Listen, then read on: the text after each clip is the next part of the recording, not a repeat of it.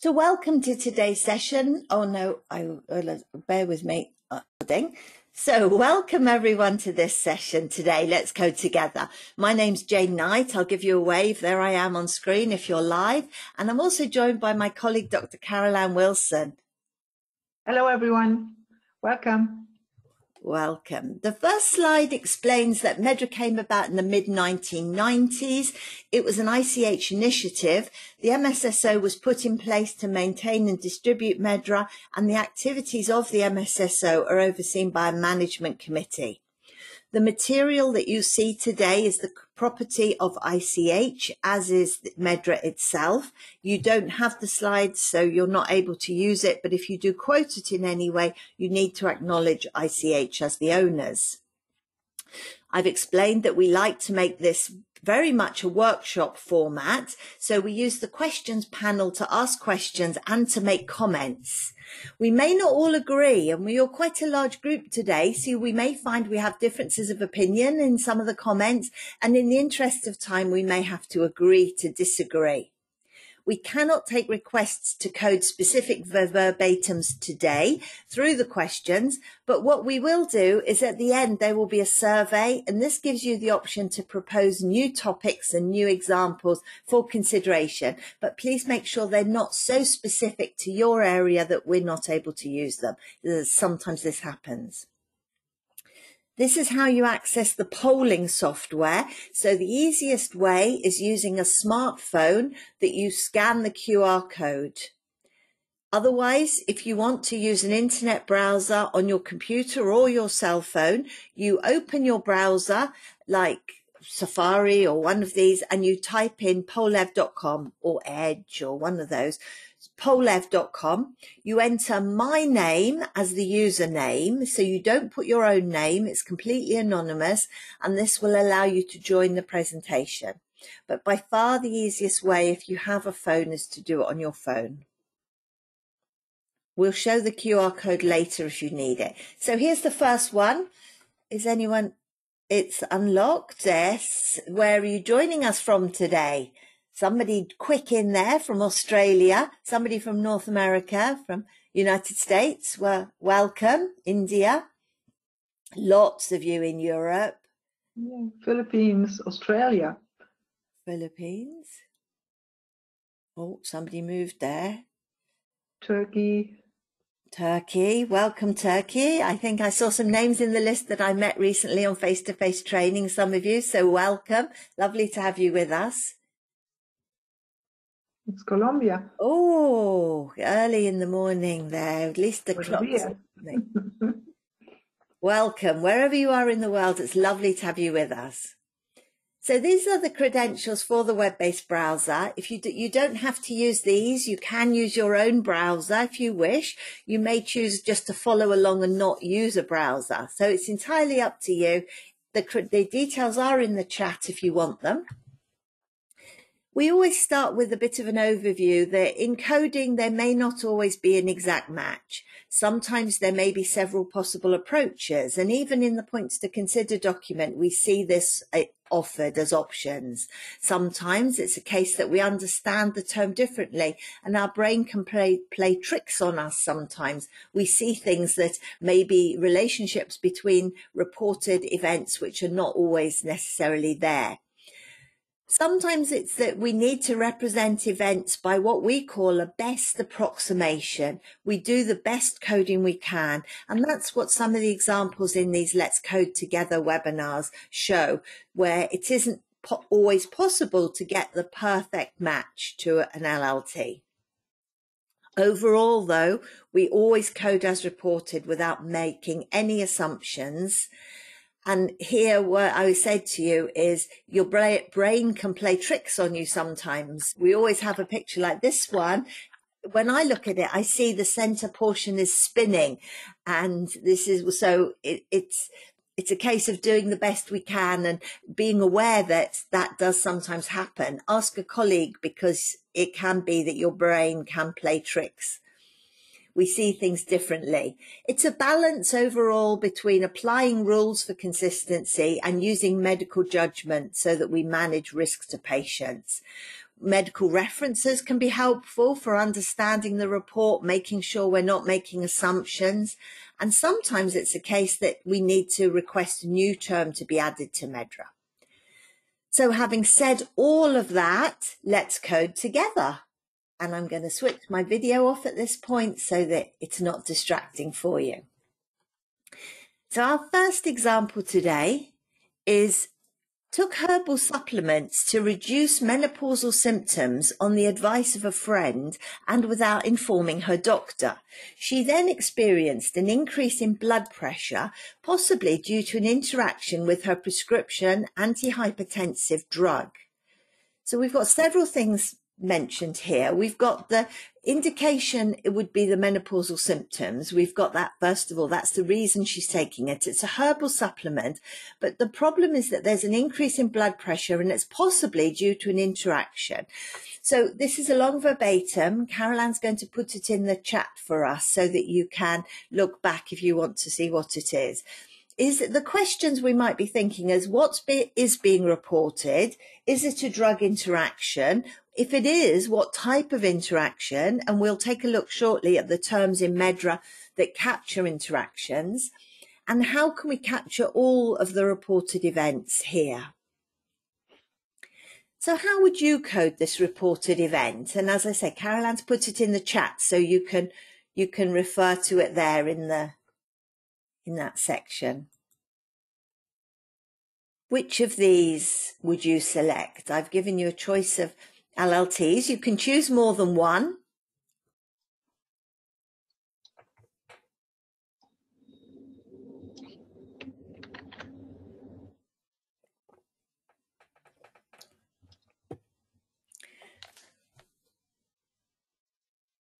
I'll give you a couple of minutes. It's a long verbatim to take in while you're voting. I'll just explain that we've got, we've, today's verbatims have come from examples that we've been proposed as well as some that we've come across ourselves. And we, we've got some really exciting examples for you today, I think. So if we do go too fast, then let us know in the chat that we're going too fast because I know I went quite quick there to try and get as much of the session for you to look at the examples. So let's have a look at how your votes are lying now. Oh, blood pressure increased is clearly is is the most popular choice, and that was one that was mentioned, wasn't it? A split there, hypertension worsened, blood pressure increased, inhibitory drug reaction, herbal interaction, and drug interaction have all been selected by some of you. So let's see, we'll freeze. Oh, what happened there? We'll freeze the poll and let's have a look at what we've got. So the concept of drug interaction is a patient is taking a drug and they take some other, either a drug, device, substance, or have a disease. So there's some other factor which interacts with the drug they're taking. And as a result, you have a drug interaction. A problem occurs. It may result in an enhanced effect of a drug a side effect of the drug or decreased effect. It's not necessarily always going to be a, a side effect of the drug as a result. MedDRA has terms for several types of drug interactions. So we, it would be a combination of a drug with another drug or a herbal substance, which we have in this scenario. It might be an interaction with food or alcohol, tobacco or other illicit drugs radiation even there's a term in MedDRA for that. Medical devices can interact as can diseases and even your genetic makeup of a, of a person. So these are the type of interaction terms to be aware of when you are looking to code. The MedDRA terms available here are all within the general disorders and administration site conditions. The hlgt is therapeutic and non-therapeutic effects and the HLT is specific to interactions. So that's, I think that's worth pointing out that remember in future when you do come to code an interaction, it's worth knowing where they are because you might not automatically think of them as being within the general disorders. And here are some of the terms that are available for the, the types of contexts that we saw in the wheel there, the different types of interaction. There are also some additional PTs added in version 27 and I couldn't fit these on my slides. So we've, there are a few newer ones added in the most recent release, but this gives you an overview of the, of the contexts in the wheel, as well as potentiating drug interaction and inhibitory drug interaction as separate PTs under the same HLT. The points to consider document, here we are, the March, that's last year's, I'm sorry, I didn't update it. This is a slide we were using in last, the, the last points to consider. The example got, um, the last Let's Code, the example got carried forward. So apologies, it's last year's points to consider document, but just to show you the guidance hasn't changed when the reporter specifically states that there's been an interaction, then we code it. And this is what the guidance tells us. Only when it is specifically reported that there is an interaction. If it isn't specifically reported, you just code the consequences. So the examples there, we see the patient was taking two drugs together and developed syncope. So syncope is coded. You just code the consequence. If it isn't clear, if there's just a temporal relationship that two drugs are being taken together. So that's the guidance. And I checked the guidance was still correct, still the same. I just forgot to change the front cover. I do apologize. The also point from the points to consider that is relevant to us here today with this one is that when you have a possible diagnosis, the guidance in the points to consider document tells us that the preferred approach is to code both the provisional diagnosis and signs and symptoms. So bear that in mind as well let's have a look at what our verbatim said. So took herbal supplements to reduce the menopausal symptoms on the advice of a friend without informing her doctor. So there's no issue there that it's anything to do with prescribing or off off label or in any way there. It's she took them herself. Herbal supplements. She experienced an increase in blood pressure. So we've got a lab result reported and it's possibly due to an interaction. So that's why I shared with you the provisional diagnosis guidance because if we apply the same principle here, we would code the consequence and the the possibility of that as a diagnosis, possibly due to an interaction, and we know the drug. So we would apply the coding guidelines from the points to consider document to code the interactions which are explicitly reported. We would never assume an interaction, and that's the earlier guidance I showed you there.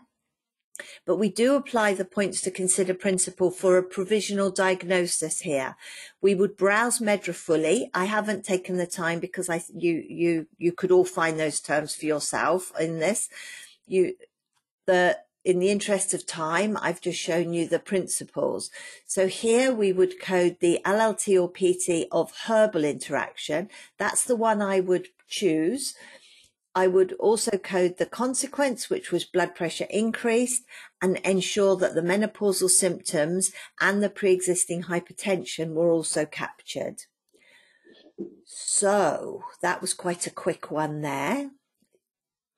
Any questions or comments on that? We've I've chosen the I chose the herbal interaction. There were a few interaction terms available in the multiple choice. I chose the herbal interaction because we know specifically it is a herbal supplement that's taken. It's not two drugs, it's one drug with a herbal, and that's why I've selected that one. Okay, I'll move on then and hand over to you, Carol Ann. Yeah, there were no questions, um, Jane. So let Wonderful. me. Thank you. Let me share my screen. Here we are. Here we are. So next it is reported that a physician mistakenly prescribed a drug for a patient which was contraindicated in patients with that particular genotype.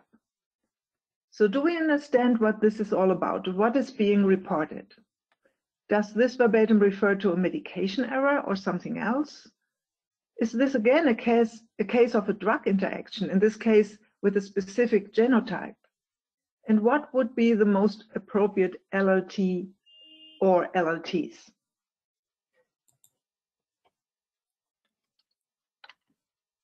So and Jane has put it, um, the verbatim in the chat so that you can see it.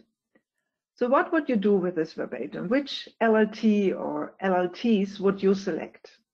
Drug prescribing error, contraindicated drug prescribed, off-label use, contraindicated drug administered, labeled drug genetic interaction issue or labeled drug genetic interaction medication error, and or drug genetic interaction. What would you do? I see that many of you are voting already.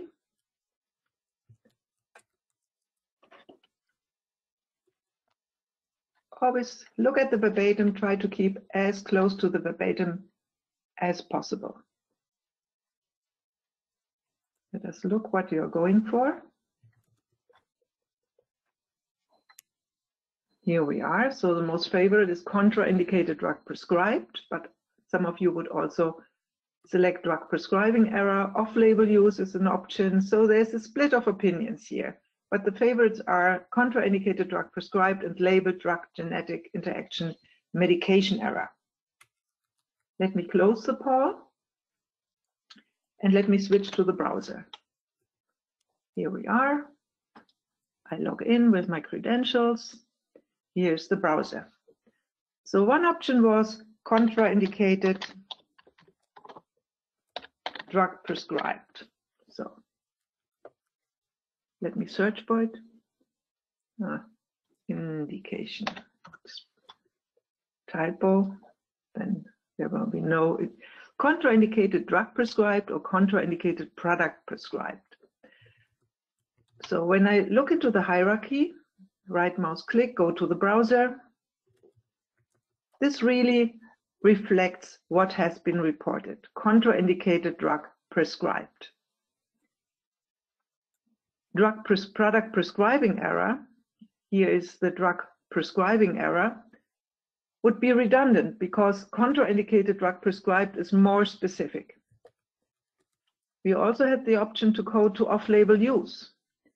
If you look into the hierarchy here, you see that there is an HLGT for medication errors and other product use errors and issues, and that there is a separate HLGT for the off-label uses, because off-label use would not be suitable in this case, because the term off-label use describes a conscious decision by a healthcare professional, in this instance, a physician, for therapeutic purposes.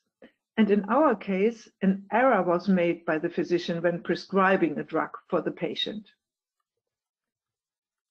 Contraindicated drug administered would be would uh, represent an administration error. So let us look for this term.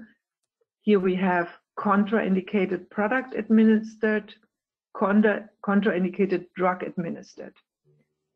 Again, this would not be suitable.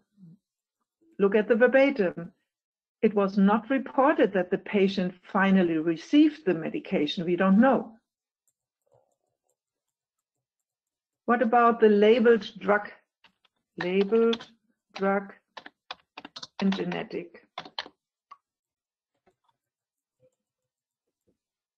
We have the labeled drug genetic interaction issue and the labeled drug genetic interaction medication error.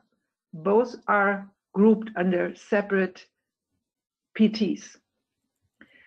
The label drug genetic interaction medication issue, well, this is a vague term. We know that the drug is contraindicated for the particular genetic variant of the patient, meaning that this drug genetic interaction is documented in the label. And it is not an issue, an unspecified problem, but we know that the prescription of the contraindicated drug occurred in error. So if you're not clear about the meaning of these, uh, these terms, refer to the MedDRA concept description and you can find them here in the browser. By clicking on this heading header here, MedDRA concept description, and selecting the L labeled, label drug disease interaction medication error, labeled drug interaction medication error, drug foot. Here is the drug genetic interaction medication error. This medication error refers to the situation when a patient is prescribed, dispensed, or administered a drug that is documented in the drug label to cause an interaction with patients with particular genetic variants. And there's an example with, uh, with um, CYP uh, 2D6, poor metabolizers. So because we know that this all occurred in error, the issue term would not be appropriate. The, the LLT labeled drug genetic interaction medication error is the would be the correct assignment. It is a relatively new PT, which was added in version 25.0, which more specifically captures what has been reported, that a labeled drug genetic interaction was ignored in error. So what about the drug genetic interaction.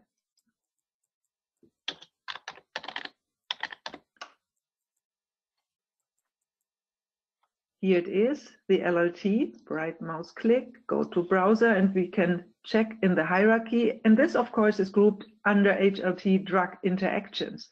So it, it represents a drug genetic interaction.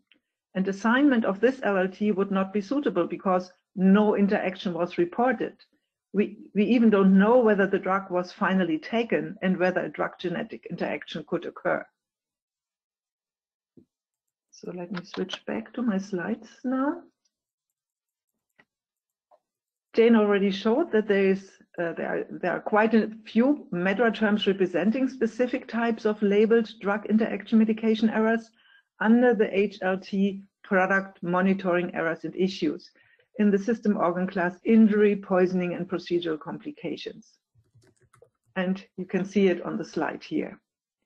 And if you are unsure of the meaning of these PTs, refer to the MedDRA concept descriptions, which you can access via the MedDRA browser I've shown you. You may now argue that LLT contraindicated drug prescribed does not explicitly capture the fact that this was made in error. But it, first of all, it is hard to believe that a non-observance of a contraindication by a physician is done on purpose. And also, the PTC document for MedDRA term selection provides useful guidance in this respect. So in the first example here, we are told that the patient with renal failure is accidentally prescribed a drug that is contraindicated in renal failure. And we are asked to code to label drug disease interaction medication error, accidentally prescribed, and contraindicated drug prescribed. Because by assigning um, a suitable LLT for the labeled interaction medication error, we already capture the fact that this incident occurred in error, accidentally. And the LLT contraindicated drug prescribed provides more specific information, first of all about its nature, that a contraindicated drug was prescribed, um, that a contraindication was ignored, but also about the stage in the medication use process where the error took place at the prescribing stage. And another example in the document is similar to our verbatim. Here we have precise information regarding the particular genetic variant of the affected patient, so uh, CYP um, 2D6, poor metabolizer, and this needs, of course, to be captured. And also the drug was finally administered. It was taken, and this has to be captured as well by, assigning LLT contraindicated drug administered. And of course, also the label drug genetic interaction medication error needs to be captured. In, Jane, in Jane's previous example, an interaction actually occurred. It was suspected. Here, no interaction is reported. We even don't know whether the drug was finally taken by the patient. What we definitely know is that this incident occurred in error and at the prescribing stage. And you could see that MedDRA offers several very specific terms for coding such scenarios, so always browse MedDRA carefully when looking for suitable terms. Here we are. Our final suggestion is to code to LLT and PT labeled drug genetic interaction medication error. and to LLT contraindicated drug prescribed under PT contraindicated product prescribed. Are there any questions, Jane? No, Caroline, no questions. Just a few people haven't accessed the poll. So when you do the next one, if you could re-show the QR code. Yes, I will. Thank you. So next one. A patient reports that the medication did not eliminate the pain, but only made it more bearable, more tolerable. Is this verbatim clear? Do we understand what is meant? Is this a report of ineffectiveness of an analgesic drug? And what would be the most appropriate LLT or LLTs? Again, your turn. Which LLT would you select? It's obvious that MedDRA contains very granular terms for similar scenarios, so try to keep as close to the verbatim as possible when making your decision. Therapy partial responder, drug effect less than expected, drug ineffective, inadequate pain relief, drug effect incomplete, and or patient dissatisfaction with treatment. What would you do? Medication only made my pain more tolerable.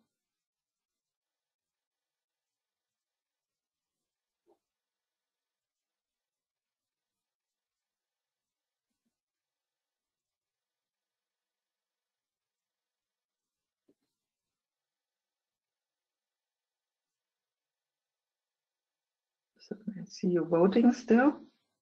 So let's see what the trend is. Again, split of opinions, but the most popular decision is drug effect less than expected or inadequate pain relief. So let me close the poll. And um, as mentioned before, try to keep as close to the verbatim as possible. The PTC document for MedDRA term selection clearly states that we should not infer a lack of drug effect uh, if not reported, explicitly reported. So do not assume code as reported. Let me switch to the browser again. Here we are. And look for therapy, non and response. Therapy non-responder. Responder. Go to browser. Here we are in HLT therapeutic. You see there's a lot of PTs in this HLT therapeutic non and non-therapeutic responses. Here we have the therapy non-responder. So this term refers to the treatment response based on the individual characteristics of patients like demographics, gender, age, and clinical characteristics like concomitant diseases, etc. We don't know whether individual characteristics of the patient led to the fact that the drug could only partially relieve the pain. It was not reported. This would be an interpretation. So the term is too specific for our coding scenario. What about drug ineffective. Where is it? Drug ineffective. Here, of course, in the same HLT. This was not reported. Remember what I've shown you in the uh, in the terms of selection document. The medication made the pain more tolerable. So, if at all, it would be an incomplete drug effect. We have, of course, drug effect let me drug effects. Incomplete. Here it is. Go to browser and we see it in the hierarchy again. It's grouped under therapeutic product effect incomplete. So would this LLT be suitable based on our verbatim? It seems that the patient expected that the drug would eliminate the pain. But was that the purpose of the therapy? Can we assume that the medication is supposed to take off the pain completely? We don't know. This would again be an interpretation. Next one was inadequate pain relief. Here we are. And when looking at the hierarchy, we see that it's grouped under therapeutic and non-therapeutic responses, but also under shock injury, poisoning, and procedural complications under anesthetic and allied procedural complications. In inadequate pain relief is grouped under inadequate analgesia. So this term is considered a synonym of inadequate analgesia and has a secondary linkage to HLT anesthetic and allied procedural complications. Inadequate pain relief could be due to an incomplete drug effect, but could also be caused by an inadequate, inadequate dosing by the uh, anesthesiologist. So this LLT is not suitable for our verbatim either. Another option was patient dissatisfaction. Oops. Separate the words. With treatment, here we are. If I click on the verbatim, we already see that this is a term in social circumstances. So this would not be suitable. And um, last but not least, we had the drug effect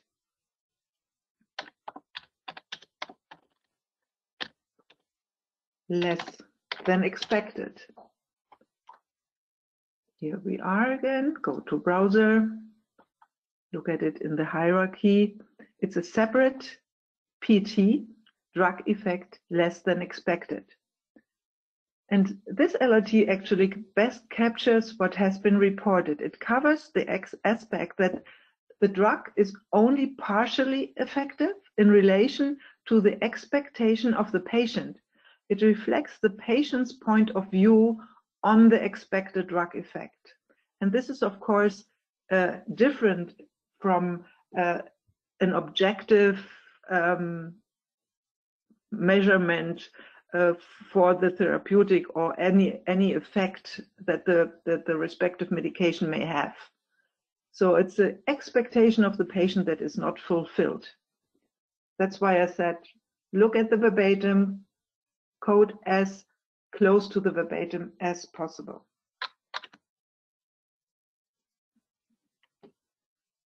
Here again a screenshot from uh, the MedDRA browser showing all PTs under HLT therapeutic and non-therapeutic responses, plus the PT patient dissatisfaction with treatment in so social circumstances.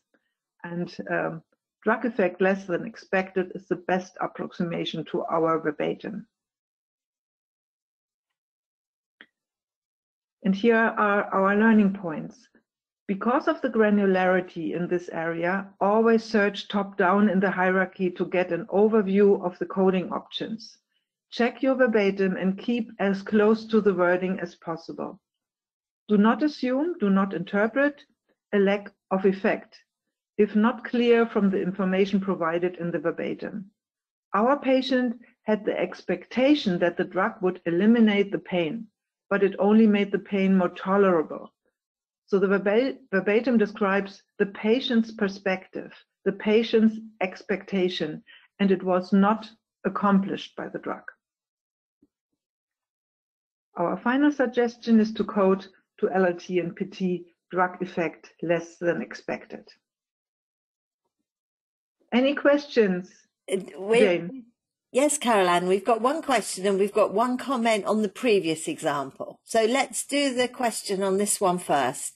This is uh, relating to the term patient dissatisfaction with treatment. If the mm-hmm. patient had clearly stated that he was disappointed by the effect of the drug, would you then have also selected patient dissatisfaction with the treatment? Yes, I would. I would always try to capture all information that is provided. And you will see it in one of the next examples. Thank you. That's good. So let us know if that answers your question. Um, then the comment we had was on the previous, nothing else on this one so far.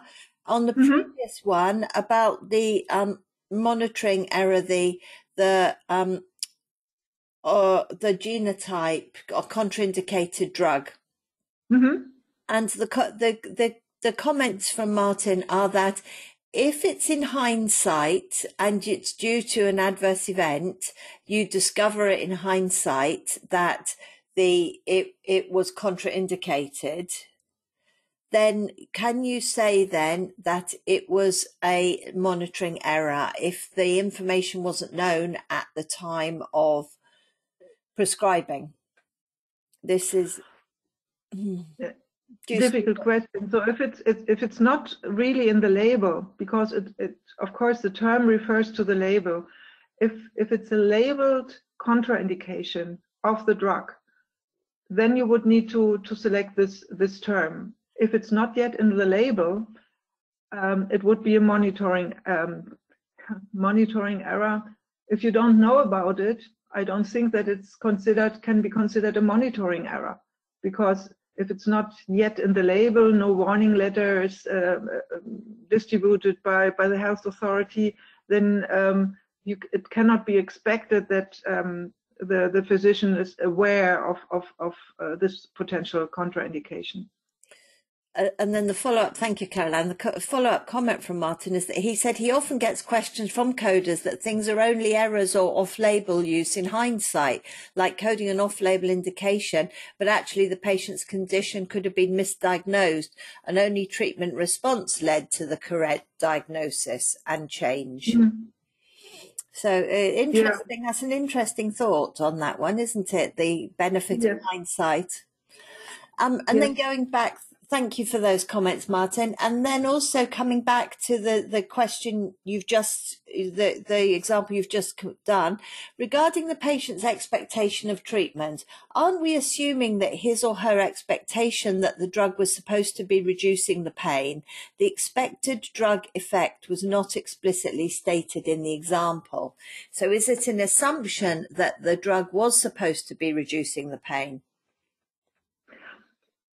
A drug effect less than expected is, is for me is it's a general term. So it, it it's really reflects the patient's perspective. Um, and um, we don't know we don't know whether the drug was um, supposed to take away the pain or whether it was only uh, taken we even don't know the indication. Maybe it was a, a, a cancer patient. So you wouldn't expect that in a in a cancer patient with really very severe pain, an analgesic, even if it's if it's a strong one, opioid, would take away the the pain completely. So it is an um, yeah, it is an expectation of the patient that cannot be fulfilled, and the drug effect less than expected really best captures the fact that it's an assumption from the patient's perspective that um, that the effect of this medication would uh, be that the, the patient is, is, is completely eliminated. Uh, and and I I going looking at the verbatim, Caroline. When we saw this verbatim, we read the verbatim that the patient was expecting their pain to be uh, yeah. reduced more than it was done. So we, we don't see that as being a, a, an assumption. The wording of the verbatim suggests to us that it, it was expected to attack the pain more than it did resolve the pain. Sorry but for that. questions. Thank you, Caroline. That's all the questions so far. You're in demand today. We we uh, that's all we have, so you can carry on. Okay. You, oh, if, if you need to go, I can do my next one. Just let me know. No, I've tried to to mute my phone, but it doesn't seem to work. Sorry for that. Next one. Similar, similar verbatim, same, same context. Here it is reported that it seems like if the effect is sometimes stronger, sometimes weaker. So is our verbatim clear? Can we code right away or do we need more information? And what would be the most appropriate LLT for coding purposes? Again, here you have the verbatim. It seems like if the effect is sometimes stronger, sometimes weaker. And again, we have many options that at first sight seem to be somehow suitable. Subtherapeutic response, you may consider split coding and code drug effect increased and drug effect decreased, or drug effect variable. There's the option to code to therapeutic product effect variable, therapeutic response change, or you may decide to seek clarification from reporter. What would you do?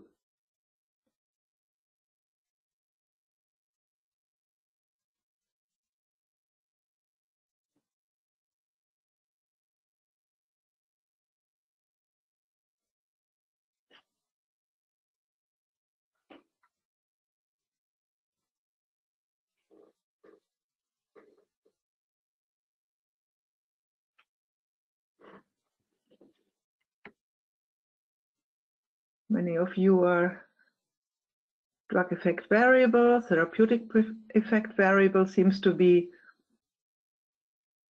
the favorite assignment, therapeutic response change also, but many of you also vote for C clarification from reporter. So let me close the poll and again switch to, whoops, switch to my browser. Here it is. So we could consider split coding by selecting drug effect decreased. Go to browser. Here we are in the same HLT, of course. And here is the drug effect decreased and therapeutic product effect decreased.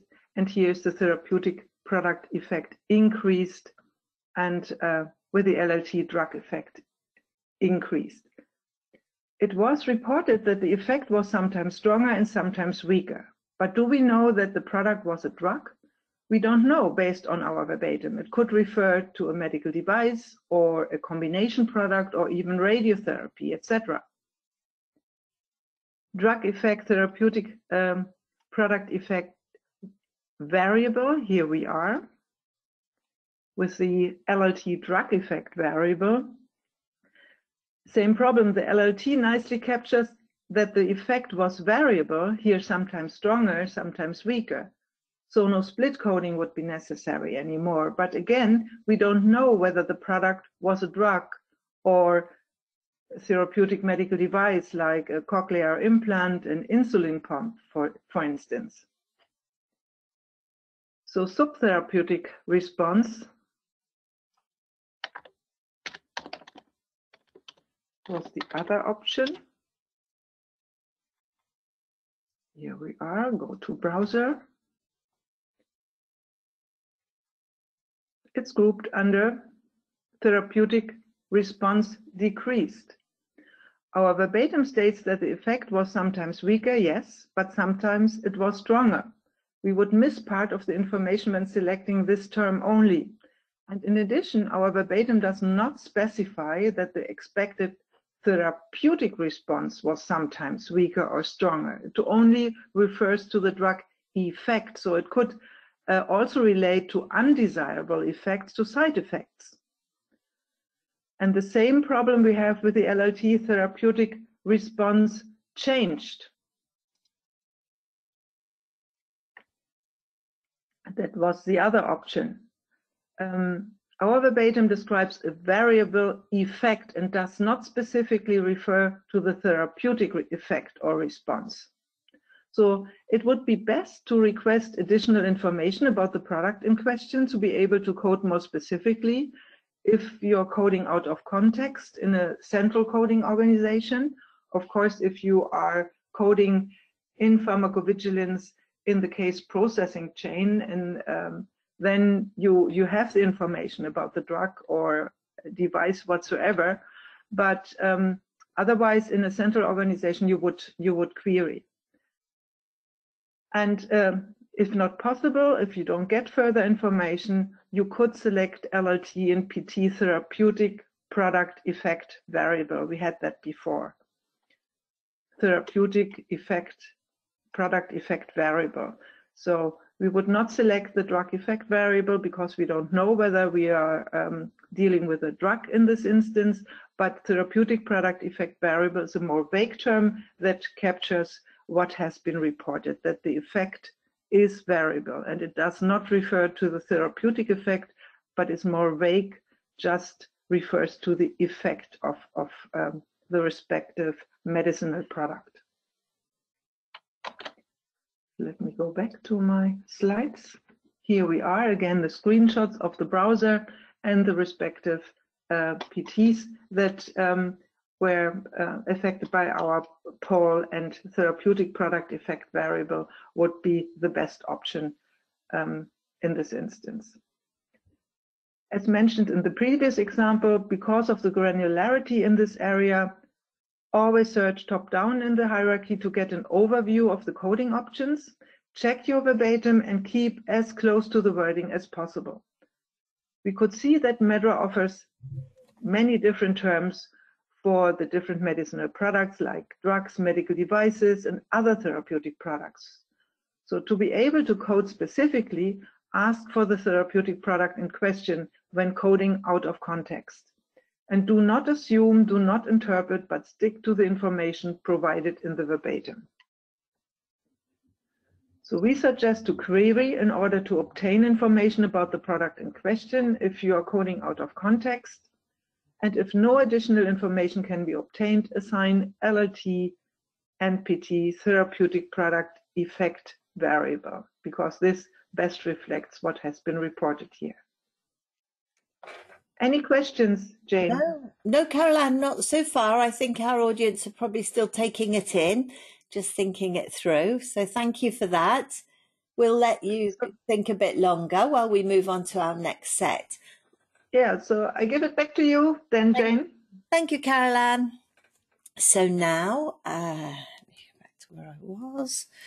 Just bear with me. Here we are. So now I have three examples which look at the context of verbatim reports and how we take this into account, or should we take it into account? So the first example we have is sweating after eating. So what's being reported here looks quite simple, doesn't it? The patient is sweating, but is the link to eating important to capture? And what would be the most appropriate LLT or LLTs for this one? That's the questions we're considering. So here's our poll. How would you code sweating after eating? We have several sweating option terms here for you. We've got sweating, excess sweating, sweating attack, night sweats, adverse food reaction, gustatory sweating syndrome, or would you seek clarification from the reporter? On the face of it, it looks like such a simple term, this one. When you actually start to think about it, well, I've given you some of the options. Some of them are LLTs under the same PT, but still it shows you the options available. If somebody's eating, if they mean dinner, do they mean night sweats? When are they eating? What time of day? And is that even relevant? Is that a different medical concept?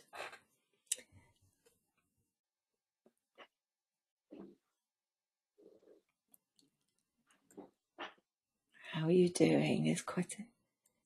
Yeah, still voting, I see. Okay, so let's see where your votes are. The poll will still be open for you. So the by far the most popular choice is sweating. Some of you have gone for excess sweating or sweating attack. Nobody's gone for night sweats. I'm pleased to see. No, a few of you have gone for adverse food reaction. Have we been told that? Gustatory sweating syndrome, some of you have selected, and some of you are seeking clarification on what, as I say, at first it looks like a quite a straightforward term until you start thinking about it. So let's close the poll there. Sweating's our number one choice, and let's browse MedDRA. So we'll go back to the to the browser and I'll show you this time. So let's see what we look for. So let's look for sweat first of all. I'll look for sweat, not sweating. Oh, sweat. Remember that it's always better to look for a word stem when you use the browser. one of the, the basic principles of using the browser. We get 54 terms that include the word sweat, but we need to try and exclude some of the things which might be test results or so what have we got here? Cold sweat, sweat glands, drenching sweats. That's under the PT of hyperhidrosis. So is excess sweating and heavy sweating, all under hyperhidrosis. Night sweats we didn't choose because there were, of course, it doesn't say in the verbatim it's anything to do with nighttime. Then we've got some sweat test results here. Just the term sweating, which is also under hyperhidrosis, sweating attack, also under hyperhidrosis. And then we have that gustatory sweating syndrome. So this one's under auriculotemporal syndrome. So this looks like something, this is really something quite specific. So before selecting a term like that, even though it talks about gustatory, which to me suggests taste and food and eating, I, I wouldn't want to choose that without a lot more research. So we could go to hyperhidrosis and have a look, go to browser. We see that the sweating term is in the skin and subcutaneous disorders system organ class. There it is hyperhidrosis. It's a skin problem and there are all these different ones. In strictly, it wouldn't matter if you were looking for one of these, we would choose the closest to the reported wording which is probably sweating. Sweating attack, it would be an assumption in a way, but sweating suggests that would be the one. We don't know it's excess or heavy. Sweating attack, you could select. It wouldn't make a lot of difference to the analysis because it's under the same PT. But before we see that, let's have a look at the placement of this. Just out of curiosity, some of us did select this gustatory sweating syndrome. So let's have a look at this one. Where is this? So this is, if we look at the hierarchy, this is now in the gastrointestinal SOC. So a completely different SOC it's under the salivary gland disorders not elsewhere classified. So this, the hierarchy is again making me think that this is something very specific. This is, I've been told somebody sweats after food. I haven't been told they have this, which looks very much like a diagnosis. So let's go back to our slides and see where we go next in our thought process. So next I would go to some valid medical references. We use Dorland's as our medical dictionary as our go-to. There are other medical dictionaries, but this is what we use. We to um, and I've just put a note there that it is worth when you browse look for things like postprandial, gustatory, anything which suggests the relationship to food. So it is good good to have a look for an LLT which does suggest food because there are some terms like that include the words postprandial, but there's nothing for sweating. There was no postprandial sweating. Only this strange term here that we think is means more. So let's have a look. Gustatory uh, hyperhidrosis. So it's a, a, synonym of auriculotemporal syndrome, and it relates to sweat, redness and sweating on the cheek in connection with eating. Many people have it mildly after eating spicy or sharp foods. Sometimes have it more. Some people have it more severely after surgery or damage to the nerve or the parotid gland. So again, salivary gland problem it does have other other synonyms there, but that is not making me think that it is just simply sweating after eating. It makes me think there's more to it than that. So I wouldn't feel comfortable in making a diagnosis myself by choosing a syndrome term that like that. If there had been a term which just suggested the temporal relationship, sweating after eating or postprandial, for example, but there wasn't anything. So we've, we've searched with the reporter's words. I've looked at all the LLTs under the selected PT. Really, I'm looking at hyperhidrosis there as the PT. I would use references if there are any potential terms that uh, pop up when I'm doing the browse, that particularly if I don't really understand what the conditions mean. I would not make assumptions or diagnose when I'm coding. We always code as reported. But if we feel that there might be something there in the mind of the reporter, which hasn't been explicitly described, we may always choose to seek clarification for the diagnosis if unsure. And I've lost the F there, sorry. Seek clarification for the diagnosis if unsure.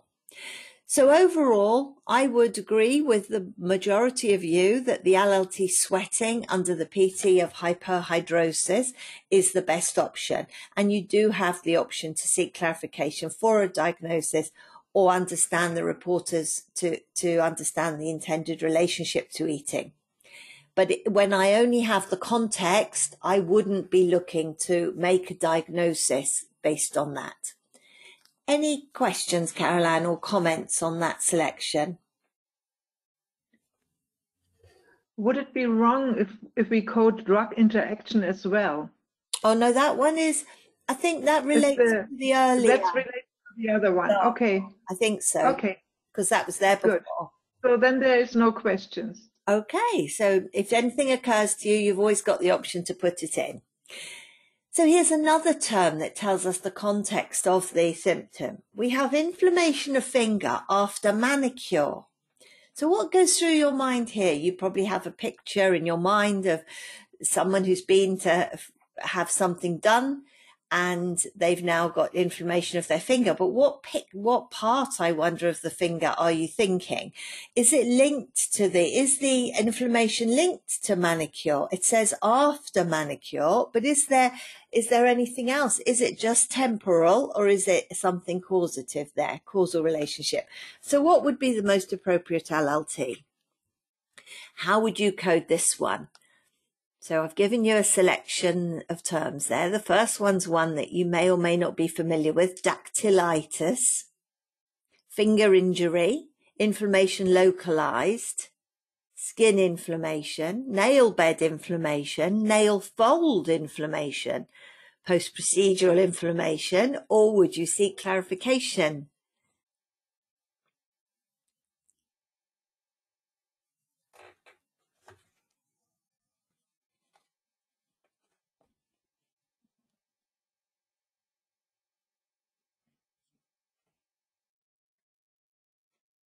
Yeah.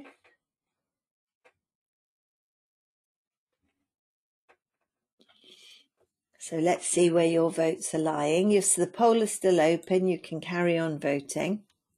Let's just see. Inflammation localized is very popular on that one. Post procedural inflammation is partly, we have a difference of opinion on this one couple of you have chosen dactylitis, finger injury, skin, nail bed, nail folds, or seek clarification. A real mix, apart from the runaway winner, inflammation localized. So let's close the poll. There we are. So referencing, I'm going to share with you the reference from Dorland for the, the first term in the list, which was dactylitis, which very few of you did select. Inflammation of a finger or toe doesn't tell us much more than anything more than that.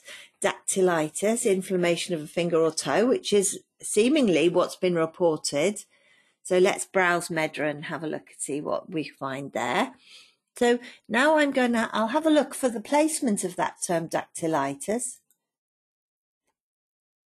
to show you first of all before we look up some of the dactylitis. Here it is. Let's look at the hierarchy of the term. It's PT of dactylitis. It's under the musculoskeletal and connective tissue disinfections and infl inflammations.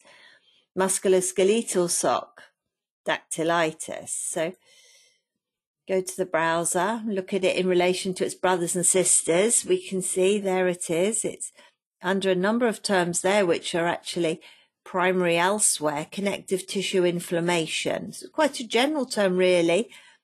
The, a lot of these terms are primary elsewhere. We see they're green. So that I I'm still holding that in my mind as that I still think that's a possibility. I won't rule it out yet. So let's have a look at inflammation. We're probably going to uh, let's have a look at the nail. Shall I put nail? It was finger that was reported, wasn't it? So we've got nail bed inflammation and nail fold inflammation.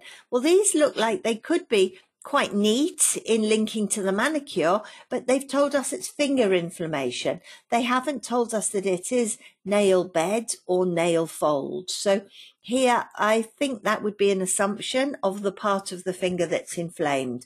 So although they are linked to the skin and it looks nice because we know in our head that the patient has been for a manicure, that would be an assumption. So then we're looking at our localized inflammation which is a more general term that a lot of you liked, Lo- inflammation localized under PT of inflammation. And we can open the hierarchy. It has uh, two links, one into the immune system disorders and one into general disorders as under the HLT of inflammation. So there's no assumption being made there. If we select that one, there's no assumption being made, but it is quite general. We're not capturing the site of the inflammation. So that's probably the, the, the most we could consider. We can have a look at it. There might be some other terms around the inflammation there. We could have a look more closely in this HLT of inflammations and have a look. There are the terms underneath inflammation. We could spend some time and have a look at these if there's anything else that we may have missed. So that's where we are. So let's go back to our slides and I'll share with you my thinking on it you've probably guessed. So my thinking is don't make assumptions. We've emphasized that several times today. Code as reported and reference medical concepts which may be unfamiliar. Exactly the same logic that we applied in the previous example.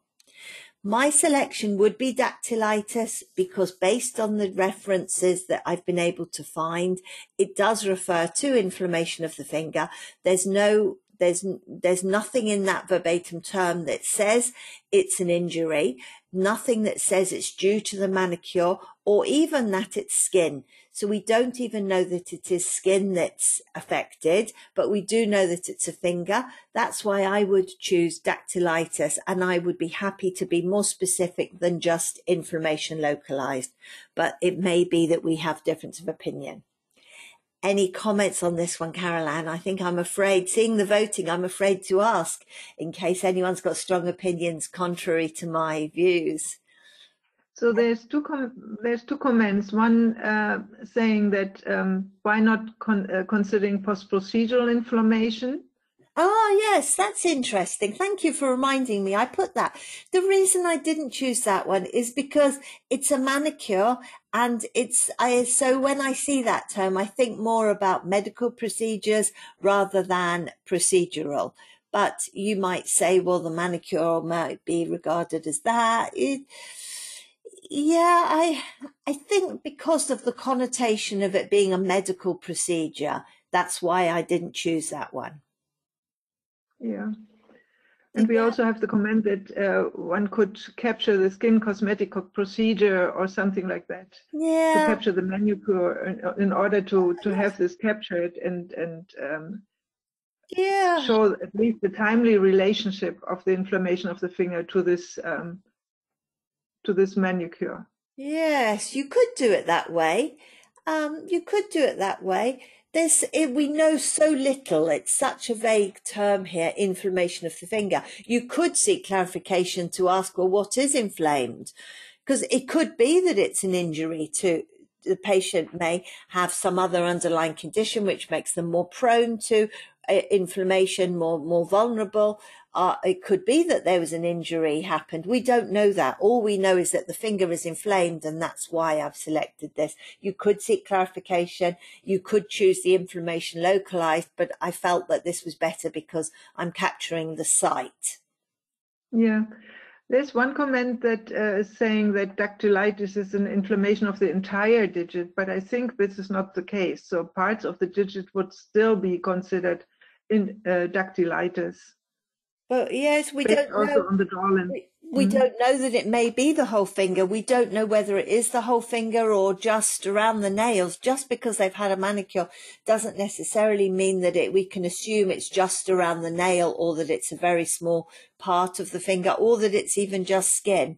It's, it is a very vague term, really. It looks straightforward again when you see it, and your brain tries to make sense of the manicure. Why have they told us it's after a manicure unless it's re- re- related? And that would make me think if I could query, is there a relationship and what part of the finger is inflamed? An interesting mm. term.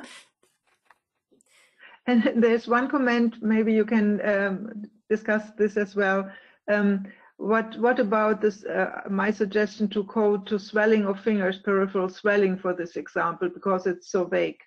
Um, inflammation is more than just swelling. We tend to, my, when I was learning to code, somebody taught me that inflammation is swelling, redness, heat and pain. Mm-hmm. And so just by having swelling, just, I wouldn't code to swelling because that's just one of the elements of inflammation. And we, we don't know whether there were t- two or more of them and which of them were present here in this patient.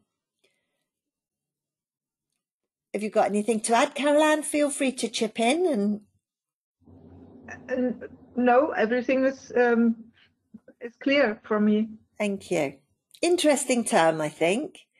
Yes, lots of, of comments. No, so, uh, no. Wouldn't dactylitis be a diagnosis? Yeah, it's a diagnosis, inflammation of the finger. It, it, is it a diagnosis? Maybe. So then your inflammation localized would be safer. Um, I, I, I don't think we could say that any of those are strictly wrong.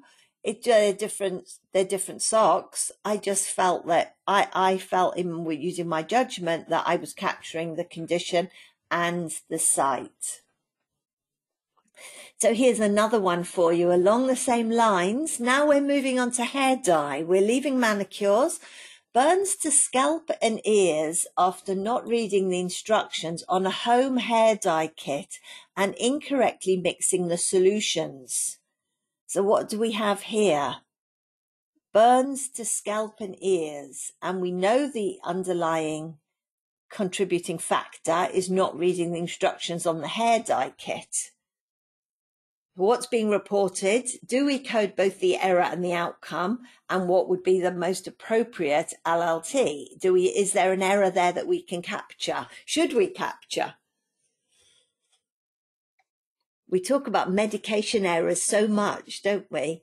If we put it in a different context, do we need to capture it now? So let's have a look what we've got here. We've got burning sensation in ears, burning sensation scalp, burning skin, chemical burn of skin, application site chemical burn, burn of face, head and neck, burn of unspecified degree of ear, singed hair, and burn. Lots of options for you there. You probably thought it was quite straightforward. If I hadn't given you all those options,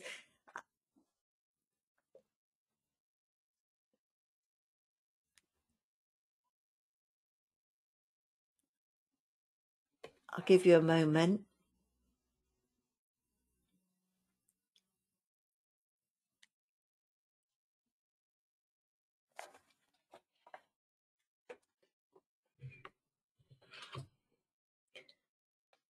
Could you show the QR code? Oh, I yeah. forgot to do so.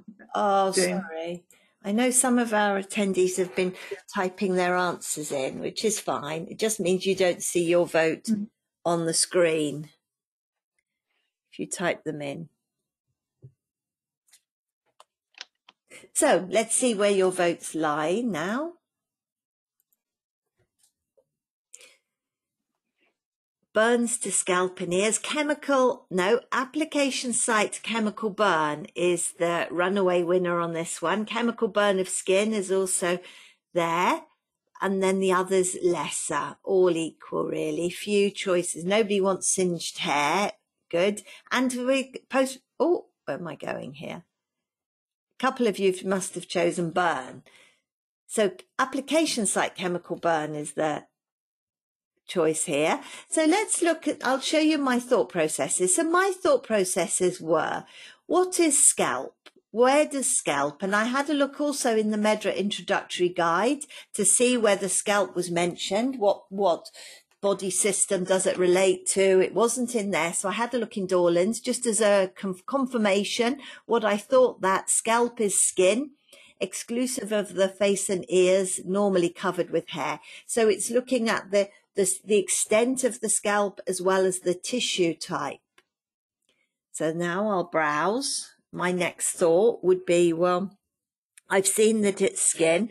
Uh, I'll, I'm, go, I'm going to go because I know it's burns. I'm going to go to the injury, poisoning and procedural complications and I'm going to do a top down. Let me just make my browser slightly larger for you. So I'm going to do top down injury, open injury, injuries by physical agents. I've got exposures, chemical injury and poisoning, injuries by physical agents. Let's have a look there. Under injuries by physical agent, that's where I find burns, but they're heat injuries excluding burns, conditions by cold. Then I have the HLT as thermal burns. So this is the issue we have with some of the burns we might have, have selected even just basic burn, thermal burn, is under thermal and we know that it's chemical. So this HLT is not suitable for us, what we're looking for. We need to look under the chemicals. If we can, let's find something that relates very much to the chemical injury. So chemical injuries now is the HLT and this is where we see all the chemical burns. I'm going to rule out in the polling the burning sensation terms because we know that they were actual chemical burns. So burning sensation is was just a red herring for you. So we're not going to follow up on those. I'm going to look for the closest chemical burn terms. So we've got chemical burn of several sites here, including skin, chemical burn of skin, the LLT and PT there, as well as some other sites, or just general chemical burn. So ears would be considered skin, scalp would be considered skin. So I like this one, chemical burn of skin caustic injury chemical burn. That's less specific, just chemical burn because we don't capture the tissue type being skin. So of those, I like those. Now let me have a look for those of you who selected the application site burn, application site chemical burn. So here we do have an application site burning, application site chemical burn, and application site thermal burn.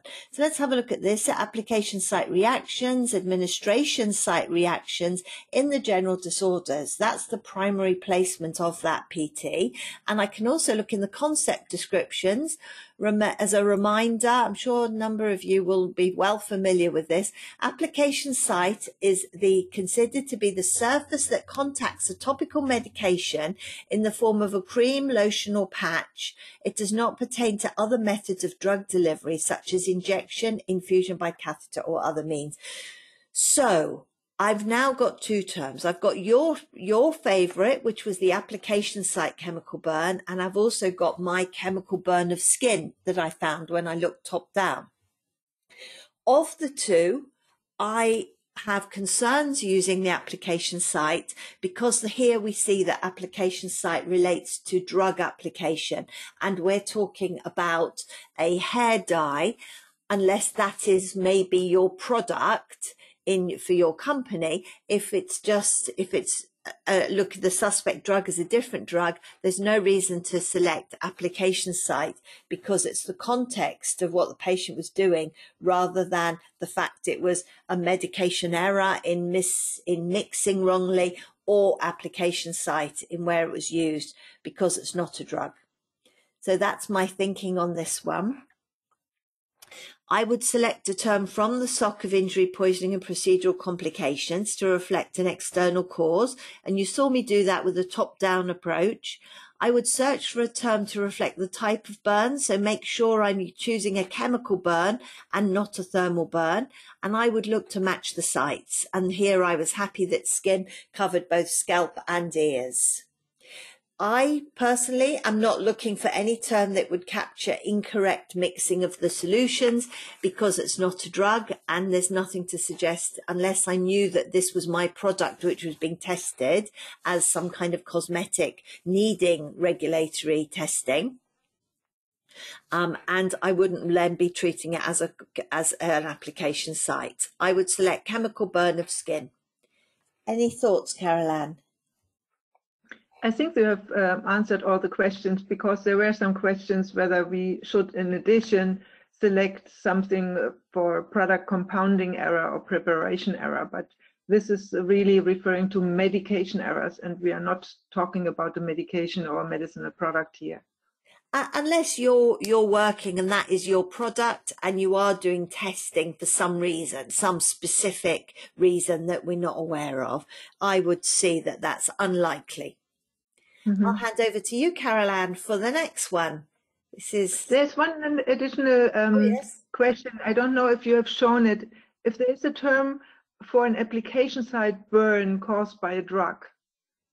Um, yes, there is. That was the application site. No, only application site burn. Chemical burn but mm. chemical burn here it is i can go to browser so you can have a look at the brothers and sisters just to be sure so it's in general disorders it's under administration site and we have application site burn chemical burn and thermal burn all fit under the same pt of application site burn so no reference to drug or product there at all just the application site which we saw from the concept description refers to a drug or product Okay. Okay. I'll hand back to you then. Okay. I will make myself presenter, show my screen. Here we are. Our next verbatim describes a capsular contracture in scar tissue leading to a breast asymmetry and an overall poor appearance the affected patient is unhappy with do we understand what is being described here? Does it represent a post-procedural complication or is it a complication caused by a device or a prosthesis or an implant?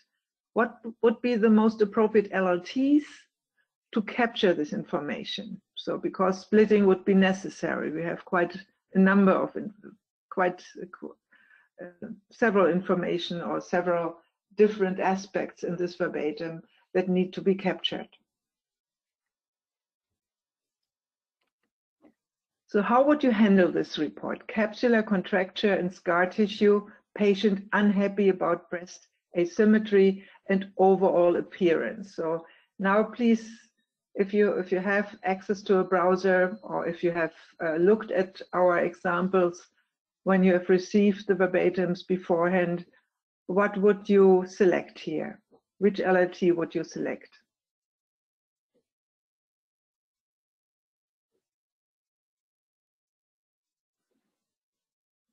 Capsular contracture associated with breast implant, yeah, very specific term that is available here. Exactly. So this captures the first part of our verbatim.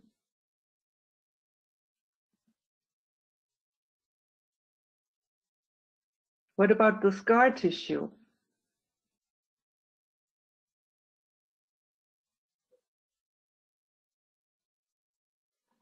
Nobody's considering the scar tissue. All of you are looking for the capsular contracture complication of breast augmentation surgery. We don't know whether it was a breast augmentation surgery. It could have been um, really a prosthesis after radical mastectomy, for instance, in a cancer patient.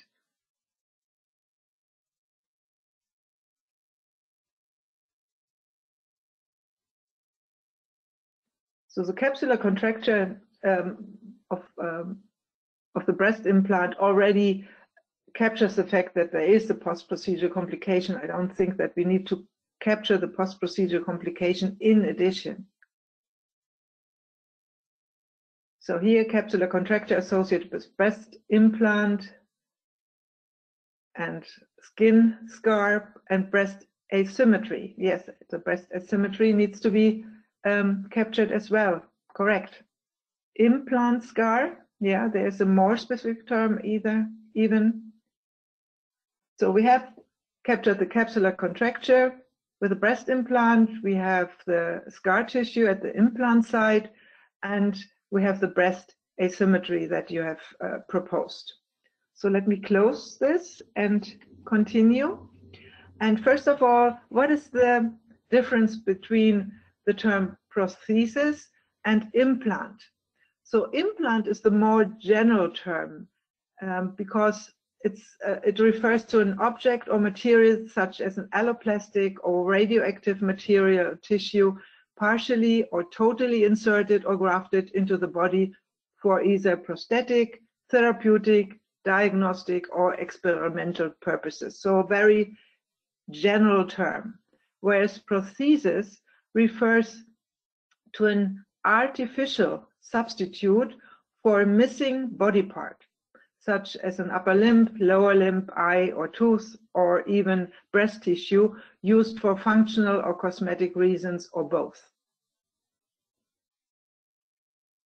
And this is also confirmed on an FDA website here. Medical implants are devices or tissues that are placed inside or on the surface of the body. Many implants are prosthetics intended to replace missing body parts. Other implants deliver medication, monitor body functions, or provide support to organs and tissues. Now we come to the capsular contracture. So a capsular contracture is the hardening of the breast around an implant, a breast implant. And the cause uh, of this capsular contracture is not known, and uh, the severity is divided in four grades, um, known as Baker grades. So let me search for the LLTs that were proposed in our poll. If I search for caps and contract, so always using word stems, Jane mentioned this already, here we have the capsular contracture associated with breast implant. So this was is the most specific term, a very specific term that we can find. If I click on it, you see that it's grouped under complications associated with device. So here we already have captured the complications, the complication. We don't have to um, to assign as an additional term for a post-procedural complication. We have the complication already captured with this PT. What about the scar tissue? We know there was an implant and the scar. If I look for it, I find the implant site scar. So this perfectly captures the other part of um, our verbatim that there's a scar tissue around, of course, the implant site causing this contracture also. Then we have um, the information that the patient is unhappy about the breast asymmetry and the overall appearance. So what about the breast asymmetry?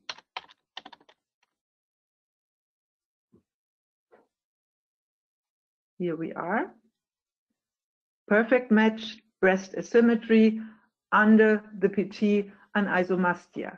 So again, we have found a very specific term.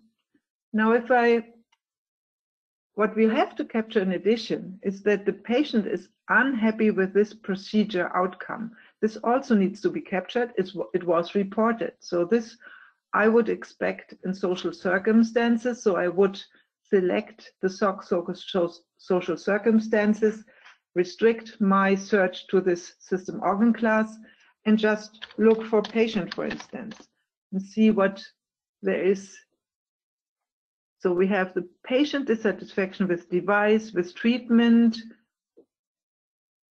and with procedure outcome. So that's the perfect term for our reported condition. So patient dissatisfaction with procedure outcome, it is grouped under patient dissatisfaction with treatment. So with this, we have captured all the information that is uh, reported in, in our verbatim. Let me continue. Here we are. So for coding the reported scenario, we had to take into account that the reported adverse events were related to a previous surgery and a breast implant. And as always, we would have to capture all reported information, all reported findings. And it wouldn't be sufficient to just code the reported capsular contracture, the scar tissue at the breast implant site, and the resulting breast asymmetry. But we would also capture the fact that the patient is unhappy with the procedure outcome. So here we are. We would code to LLT and P PT implant site scar, LLT and PT capsular contracture associated with breast implant. We would code to the LLT breast asymmetry under the PT anisomastia and we would go to LLT patient dissatisfaction with procedure outcome under PT patient dissatisfaction with treatment. Any questions or comments? A couple Jane? of comments that I thought contracture is scar tissue. I think you've addressed that one when you showed the well the definition from the FDA website. So contracture is scar tissue, but we found a closer term. And how do we know that there is an implant? Yeah, but um, if you look into breast and capsular contracture, that's always related to the implant. So that's what you see in literature. So in this instance, if you're not sure about the concept or the, the condition that is reported here, it's always useful to look, uh, to search in the internet what is meant by that. So here it's fully clear that this only relates to a breast implant. And going back to Jesse's question about, well, why have we coded? I think the question is, why are we coding implant site scar and capsular contracture? It's because we've been told both of them and we don't know where the scar tissue is, if it's necessarily internal or on the surface at the scar. So safer to. Yeah, could, yeah, it's safer. It's it's at the implant site because it's uh, it's reported in in um, together but uh, we don't know whether it's uh, really scar tissue around the implant or whether it's uh, near the implant because of, of the surgery itself. So it's always safer to, to, to capture both. And also the scar tissue, then there is scar tissue and the scar tissue somehow is also related to the capsular contracture. So both are, are to be coded. We don't have more information, so I would capture both um, findings. Martin's reaffirming that as well, Caroline. The capsule is always around something, so in context, it is the implant. So, yes, thank you, Martin, for that comment too. So, uh, Caroline, looking at the time, it's 10.28.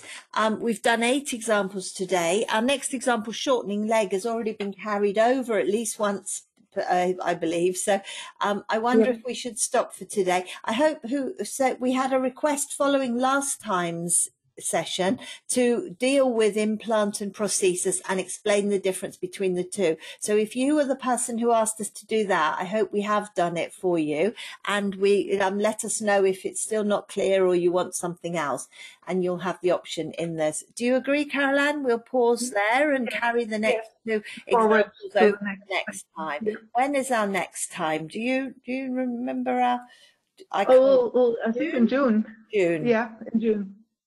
We don't have quite as many this year because we're doing face-to-face training, so we, we don't have quite as many as we've had in previous years of Let's Code Together this year.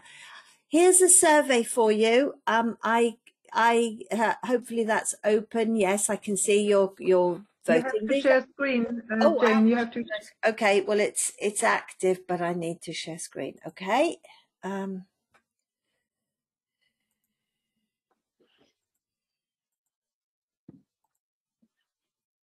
Yes, here it is. Let's try again. Sorry about that. So here's the survey for you that you'll be able to carry on. Tell us if you do have topics you'd like us to cover. Please tell us what you thought of the session today, how we can improve it. We, we do take all your comments on board. We can't always make the changes that you ask for because you might ask for something and a number of other people might ask for the opposite. So we do review everything, make what changes we can. And we, we enjoy doing these sessions and want to make them as useful as possible for you all. So just I'll let you doing that. A reminder for you that I mentioned at the beginning that we don't distribute the slides for these sessions. We do make the recordings and we store them on our YouTube channel. So there's a playlist that you can look at all of them together that Carol Ann and I have been doing this now for a number of years. So there's a lot of them there going back to the end of 2020. And if you wonder, well, which terms are covered in which of the sessions, then you can see in the information in YouTube which verbatims are covered in each session. And to make that even easier for you, I'll just show you while we're uh, here on our website. If you go to our website under training, you go to the training materials you'll find there that there's a list of all the trainings we offer. Under coding, you find the section for Let's Code Together, and there's a term index as well as a document explaining how the index can be used. So I'll click to show you the term index. This is a way of checking what verbatims have been covered in each session. These are all the English speaking sessions, so it includes our US colleagues as well when they do the sessions. And you can look at the date. This will help you look in YouTube to see which ones you're most interested in. And they, it's hyperlinked so you can click. There are the dates. You can also look by, we've categorized them. You know how coders love to code everything, categorize. We've classified them by category. So they don't relate to body SOCs, but you can actually look and see which terms there are that you can, um, you may want to see. So this will show you the alphabetical by category. Here they are. We can see what we've put under ambiguous and vague. You get the idea. So there we are. Combination terms and also as well as some body sites. So anything else to add, Carol Ann? Nothing to add, Jane. So thank you all for your attention. Thank you, Carol Ann. Here are our regular links to the website. We really appreciate your input today, both the voting and the comments. We, as I mentioned, we enjoy doing these sessions very much. So we, it's a, a pleasure to share with you our thought processes and we look forward to seeing you in June. If you are here for the whole session, you'll be eligible for a certificate, which you download from the self-service application in two days time two days time. So thank you all. Enjoy the rest of your day. Thank you, Carol Ann, for your collaboration and thank you, June. bye bye. Thank you all. Bye bye. Have a good day.